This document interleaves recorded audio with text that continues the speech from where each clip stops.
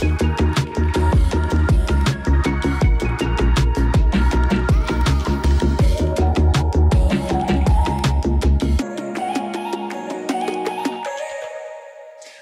and welcome to my session Pitfalls and Practical Solutions on AxonIQ 2020 Event Driven Microservices Conference. My name is Jan-Hendrik Kuperus. I've been a software developer for about 15 years now and been working with Axon framework for the past five years on several projects. Um, today this session uh, will be about some of our design decisions that we've made in these, uh, these projects, uh, things we ran into using those um, uh, design decisions, as well as some of the situations we've been running into when using the application in production. Uh, this is a pre-recorded session, which means I will not be able to answer to questions within the session, but I will be available on the chat uh, during the conference, um, answering questions there while the session is running. So let's have a look at some of the things that are in the session and some of the things that are not. Uh, since this is a relatively short session, um, it's a good idea, to, good idea to know what you want, what you can expect. Um, obviously, we're using Axon Framework, which is in context. Um, I will also be talking a bit about the architecture of our application. Um, there's uh, Scala here, which you can see is both inside and outside of the, the circle. Um, that's because we're using it as a main language of our application.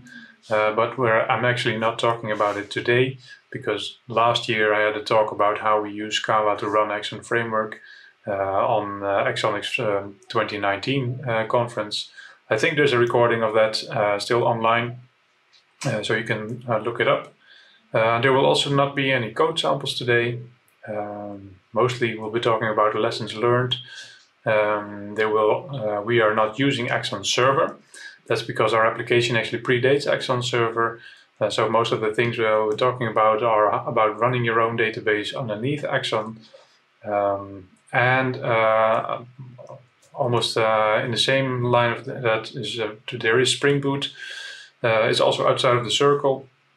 Um, because uh, we are well, we are using Spring Boot to launch the application, but we're actually not using any of Axon's Spring Boot auto configuration features.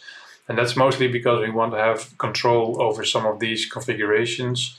Um, and, and, there will be a few um, of these in this session about how we uh, work with that to uh, put Axon in, uh, in a shape and configuration where we actually want it. Here's a small overview of the stack of uh, technologies we are using. Um, some of these I won't go into depth, but they give a bit of an overview of how our system is built from the components.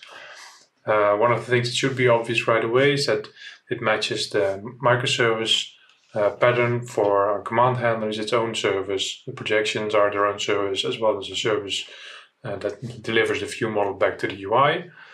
Uh, and these are all independent services running uh, in their own JVM being orchestrated over our um, infrastructure and running and scaling as much as we need it.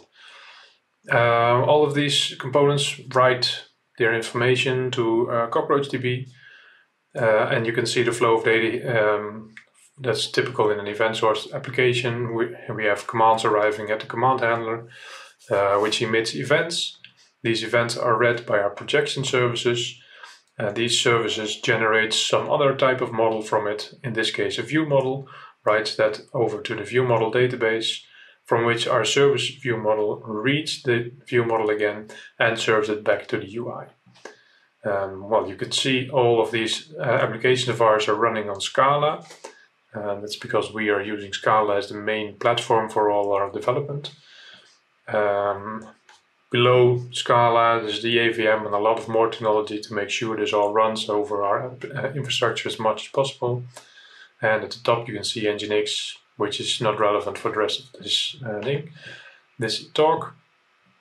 And on the left side here you can see that our application has a secondary input uh, for system-to-system -system messages and that's running through Kafka. So the previous view showed only one projection. Uh, it was more of an overview of all the, the different components of our uh, event sourcing flow. Uh, but in reality, we have more like three uh, projections at this time. Um, this diagram here shows the three we have at the, at the moment. It's one for the view model, one for our search cluster, and one for our audit log. Uh, these three uh, projections are all independent services. They run separately from each other um, and uh, they can be turned on and off as needed uh, to do some maintenance, and none of the other ones will be impacted. Uh, we chose this setup uh, specifically from the start to be evolutionary.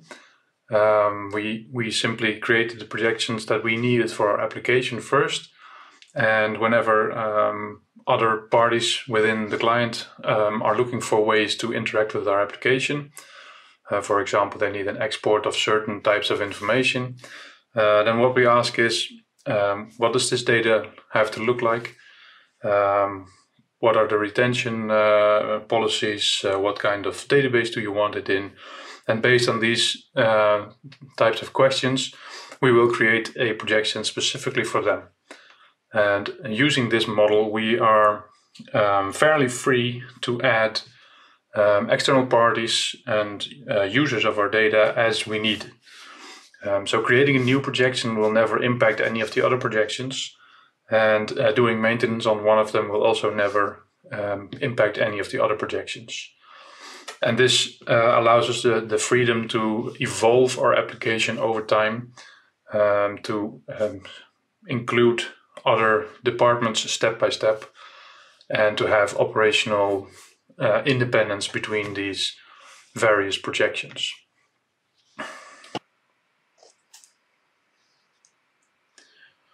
So from this um, this architecture, here's a, the first tip we uh, did, um, and it's about token location.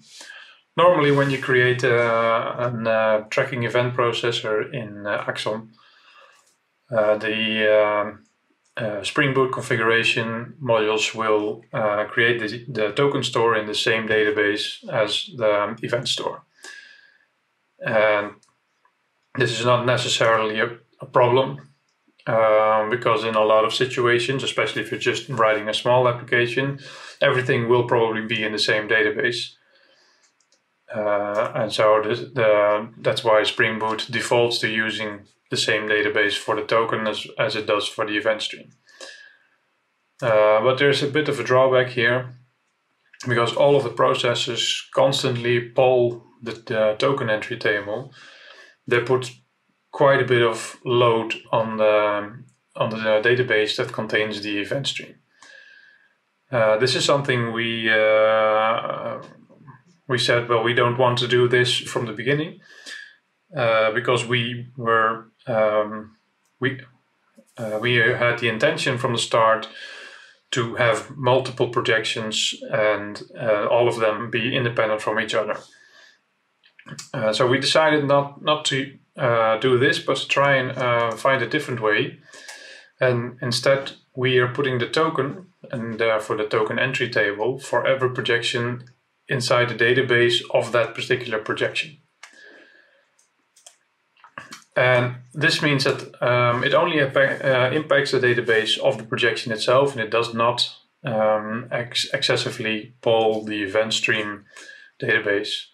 Um, it polls its own database, and only when it sees um, uh, sees new events, then it will query those new events from the event stream. And um, orchestration uh, for the the various segments and things, it all happens within the database of the projection. This also means that it's completely isolated from other projections. Um, there's no way uh, a, a, second projection uh, can accidentally use the same token. For example, when you create a second project and copy paste all of the configuration and by accident use the same name for your processing group, then you um, in the original situation you might have a problem where two projections are using the same token uh, while they're being um, completely different projections, and that will lead to, well, undefined but probably very unu- uh, very bad behavior. Um, it's also very easy to restart uh, a projection. Um, it's basically nothing more than drop the database. Uh, when, when you do that, all of the tokens will also be destroyed. And the next time you start your tracking event processes, they will simply start from the first event ever. Uh, so, so, this gives us uh, the freedom to develop projections completely separately from all other applications, and there's less overhead in thinking what other projections would be impacted by these uh, by this particular projection. So, and the second tip. The second tip is about domain types. When we started building our system, um, we thought it was a good idea um, to combine all domain classes in one single project where all the other services would depend on. It turned out this was not a very good idea.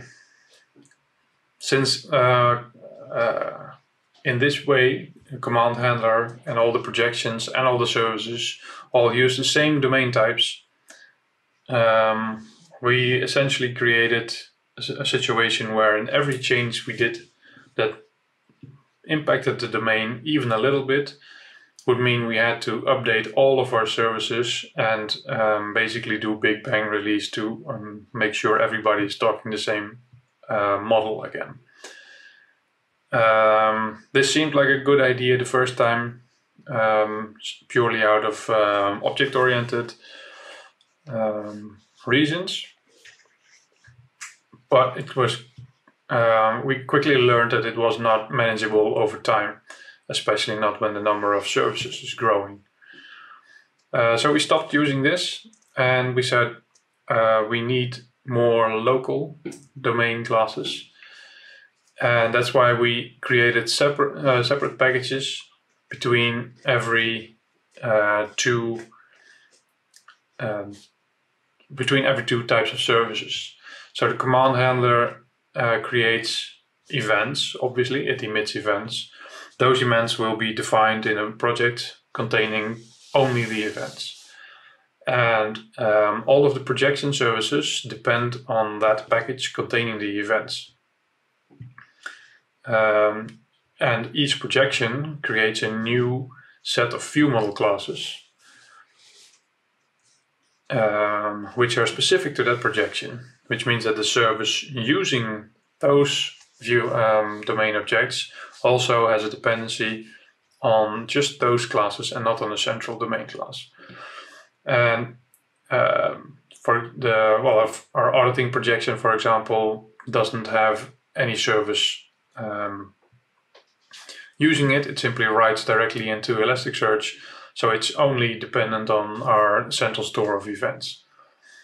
And um, we are in the in the process of taking this one step further by going to the events um, project and splitting it up in uh, sub events to make sure that we we have more clear boundaries between uh, certain types of events that may or may not be needed by all projections. This will make our release cycles even simpler. Uh, because every time we um, update something that's only for interesting for the view model, we will only be updating this particular branch of our product uh, and not having to propagate the same uh, or new versions of classes of things we're not using in this part of the application. So think about that when you are um, designing your application, especially when you're using microservices. I mean, if you're building a big monolith, um, then actually the left uh, left side is not not a problem uh, because everything will reside within the same deployable unit, and then it's fine.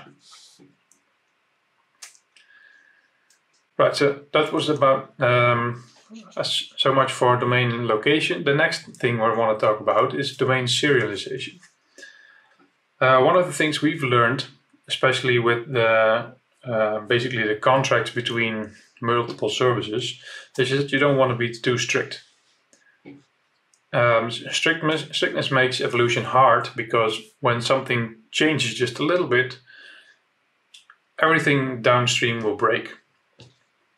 And when everything downstream breaks, you, that means you have to be more careful about planning your releases. Uh, your releases will become bigger and there will be more chances for failure when you're trying to release your feature. Um, and this is actually a bit of a downside for, for using uh, Jackson for serializing things because Jackson is by default um, very strict about new fields. Uh, if you've ever used Jackson, you will probably recognize this exception where it says, uh, I've found a field on, uh, on a serialized object that's not defined in your object.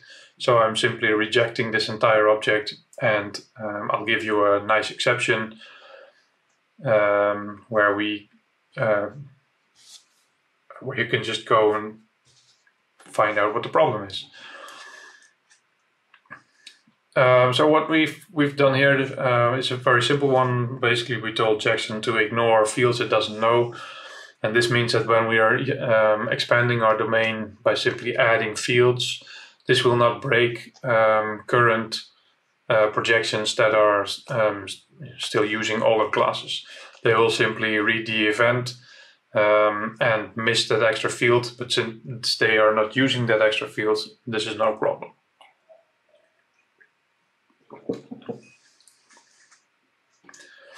Um, next tip here is when we're talking about serialization anyway, uh, we found it very helpful to be testing our serialization. Uh, especially when we're working again in microservices, things are happening independently. Different team members are working on different parts of the system, and things can go wrong. And when things go wrong in serialization, uh, things can go seriously wrong. So what we want to do here is this is a bit of a open door here. We of course we want to find bugs fast, um, we, we don't want to find out about a uh, serialization error when we've deployed the application to the environment and it has started to uh, process events for which it has, for example, been unable to uh, deserialize them from the event stream. Um, this when this happens, normally um, an event processor simply reports the error, and if your handling doesn't uh, stop the event processor from continuing, it will simply go on and basically skip the event that it couldn't read.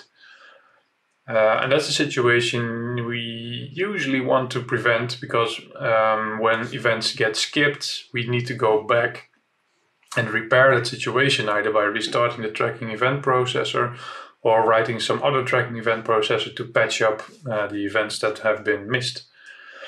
And, and that's not something we want to be doing. Um, so what we're doing here is we, we make the expectations for both serialization and deserialization um, explicit. And this will, um, uh, this means we, we create, we take concrete examples of, of serialized events, put them in our tests, and um, um, make sure the application is able to um, deserialize them before we release it to the environment. Like I said, it's, it prevents the need for repairs. Repairs are costly. And event processors will simply skip over events if it can't deserialize them. So how do we do that? Well, we have actually um, a series of tests uh, that use uh, pre-serialized test events. Um, and um, all of these events should be uh, deserialized correctly by a tracking event processor before we allow it to run in our uh, environment. The next topic is on CockroachDB. We've been running our application, like I said, we're not running on Axon Server. We've been running our application before Axon Server um, was full well released. Um, and initially we were using uh, MariaDB. Uh, MariaDB is the open source um, fork of MySQL, and it it works. It works very nicely. Uh, but there is a problem with MariaDB nowadays, in that it is uh, it is taking a lot of time uh, to maintain it in a um, in a clustered formation, and especially in the project where we were working, there wasn't uh, were not enough team members that were familiar with how to maintain a cluster of MariaDB uh, services, and that simply posed a risk to our application. So we decided at some point to change the database we're using, and we came up with uh, CockroachDB because it's a cloud native um, SQL compatible database. Uh, we've been running a few tests with it, and Axon actually just works fine with it um, thanks to its uh, Postgres wire compatibility. So, uh, CockroachDB has allowed us to um, deploy multiple uh, nodes very easily. Uh, most of my team members know how to add nodes, remove nodes, and the, the entire database is simply uh, clustered from the beginning. Uh, there is, however, one, one little gotcha. When we first uh, started to work with uh, CockroachDB and Axon, we discovered that uh, tracking event processors used um, a feature of Postgres, which uh, the people of CockroachDB deemed to be a feature that was never used and um, the behavior caused null pointer exceptions to be thrown and whenever um, Axon was requesting a token, which happens at least once per second, so you had a lot of null pointer exceptions. Uh, we found a way um, around that um, by forking the, the driver, and we've been working with people on Cockroach CockroachDB to find a solution for this.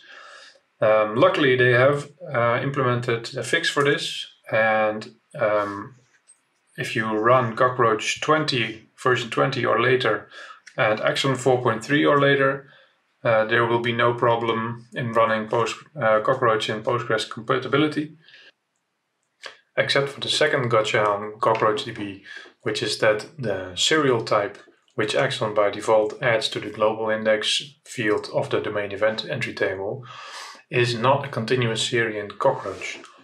Uh, CockroachDB tries to optimize this serial by um, creating it a globally unique identifier instead of having to create an um, ever increasing series of numbers. Uh, you can fix this. Uh, if you want to do that, you have to do a little trickery to um, to make sure the DDL is, uh, matches to what Axon expects. Um, it's not that uh, difficult. You can uh, start your command handler for the first time, it will uh, generate and execute the DDL uh, used to create the domain event table. And once that's done, you can stop the command handler again and execute the, the um, SQL statements in this uh, slide, where basically you will be creating your own sequence, which is uh, continuously increasing. And you put that as a default value for the global index column in uh, the domain event entry table. Once this is done and you start the command handler back up, uh, Axon works just fine. Um, the global index value will be increased uh, on every new event and there will be no problem uh, running Axon on CockroachDB anymore.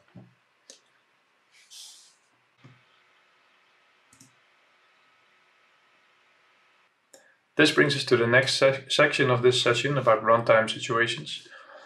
The previous part was mostly about design decisions uh, on architecture and uh, underlying tooling. Um, the following are some lessons learned from running Axon in production and having to deal with everyday situations.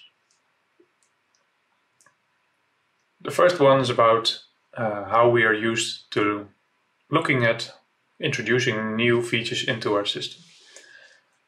Um, when we're thinking about introducing a new system, usually you think about how it's uh, a user is creating uh, traffic on this particular feature.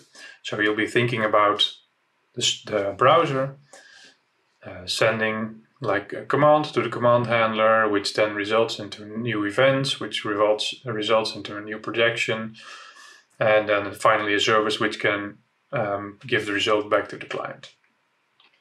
This is the natural way of thinking about how a feature is used, uh, but there's there are a few problems with uh, using this order when introducing new features. uh, when you're doing this, you will most likely have to restart projections at some point when uh, when you if you first implement the command handler, um, and then finally um, start creating proje- a projection, and then uh, at the end create your service.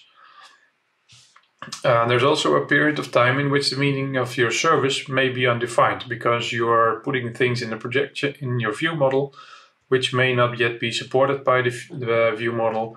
Uh, your UI may want to request things that it can simply not yet uh, answer.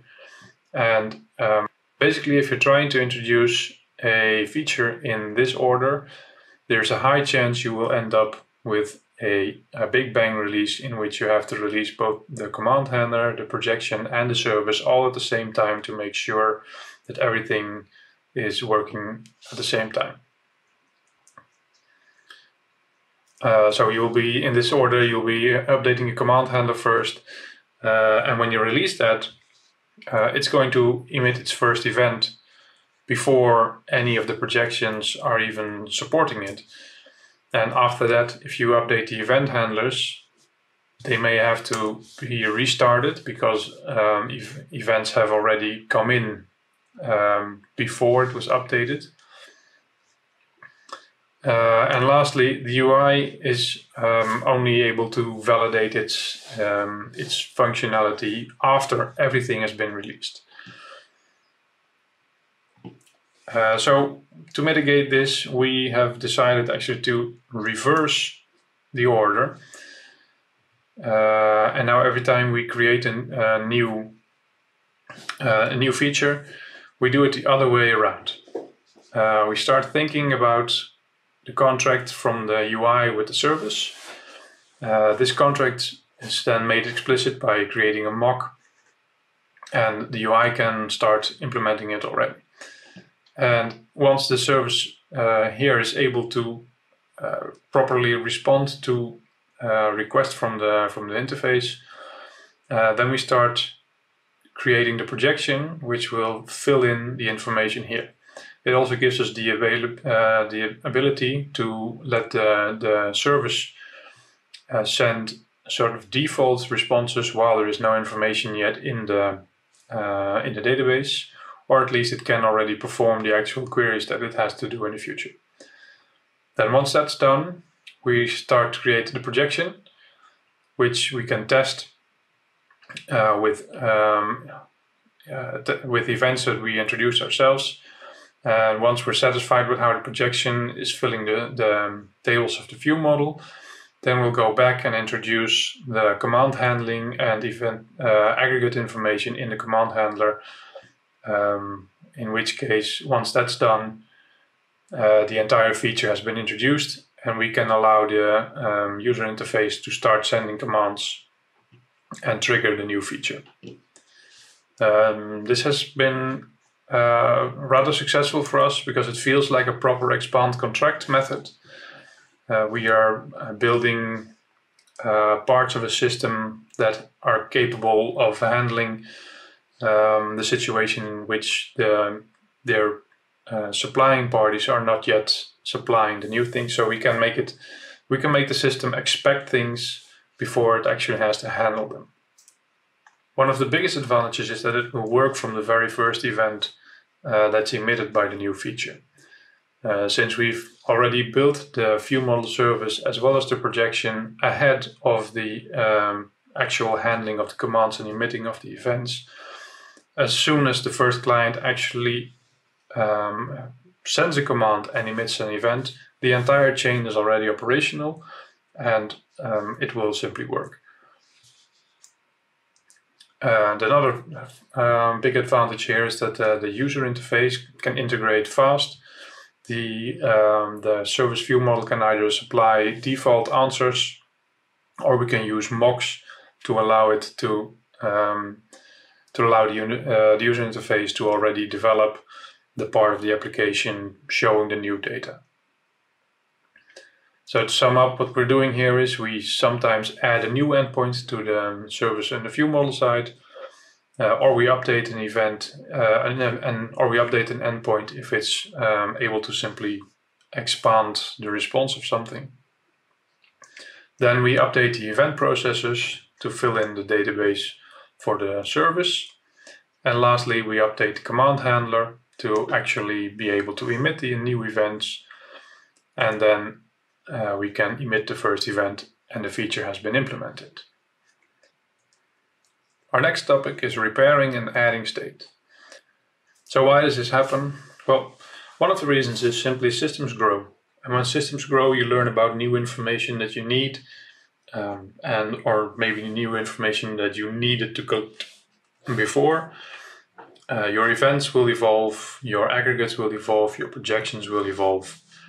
And some of these things may need to be uh, repaired um, all the way back into your event stream. For example, if a new field to an aggregate is introduced that um, may or may not have a very obvious default value, there is probably some repairing you will have to do. Uh, sometimes you have situations where implicit data becomes explicit. And what this means is that where you used to uh, deduce certain information simply from another event, uh, maybe the client now wants an explicit event for this um, to happen. And then um, the handling of that will change uh, based on the time of an event in your event stream. Uh, and it's it sometimes it just helps to introduce certain repair events which make the entire uh, um, the entire situation explicit rather than just um, trying to figure out whether the current event is before or after a certain period in time. Uh, and another reason is you may have, have actually released a bug, and when a bug uh, creates information in events that's incorrect, um, you may have to um, correct that uh, in a way that on, can only be corrected by emitting an event that corrects the state. So, how do we do this? Well, first of all, don't edit the stream. Uh, this sounds like a, a Ghostbusters uh, don't cross the streams thing, but one of the big um, plus, uh, one of the important features of event sourcing is that your stream of events should be considered immutable. Um, especially if you're promising clients uh, things like um, uh, immutability, auditability, and the safety of all data from the beginning of time, you should not be editing your stream. Uh, besides, if you're editing your stream, you have to make sure that all applications are down, all your projections are down, your command handles are down, uh, because you will be running into a pile of trouble if you're editing the stream when applications are still reading from it.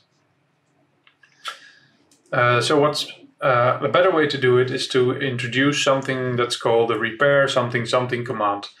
And the uh, goal of this command is simply to um, allow your aggregate to repair the uh, situation that has occurred and emit an event that um, that's uh, legitimate according to your domain.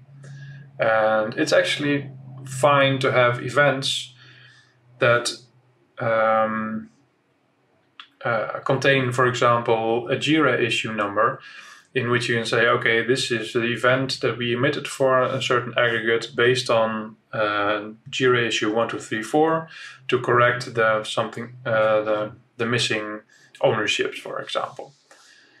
Um, and this is uh, this is something we are using um, regularly when we have to do things like this uh, we create an explicit event that actually tells whoever reads it later that we were doing some repairing here on state in the event stream.